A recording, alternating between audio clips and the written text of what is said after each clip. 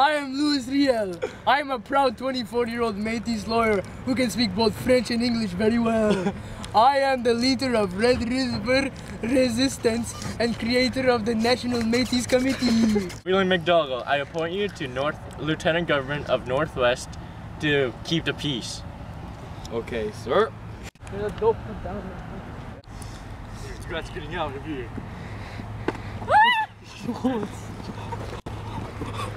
I'm back and I'm making the provincial government for our rights and freedom. French, yuck. I control this land. Get out of here, you miserable half-breeds.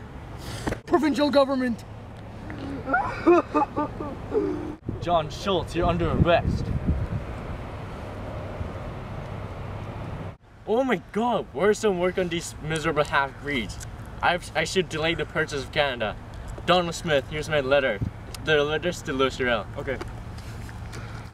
I'm Thomas Scott.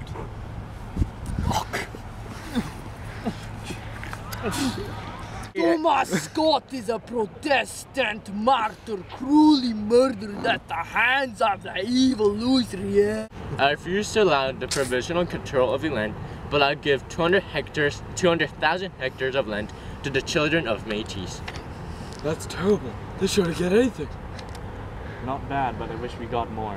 All right, you 1,200 militants, composed of orange, most of them who are Orange Order, go keep the peace in the land.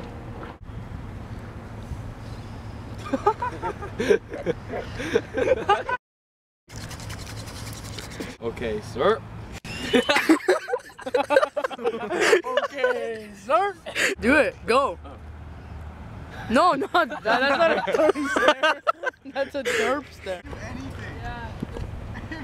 Thomas Scott is a president martyr. What the hell does that say? Protestant martyr. No, I need to restart that. Action. Thomas.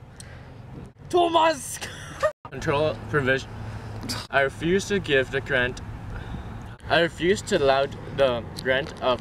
I refuse to allow the control of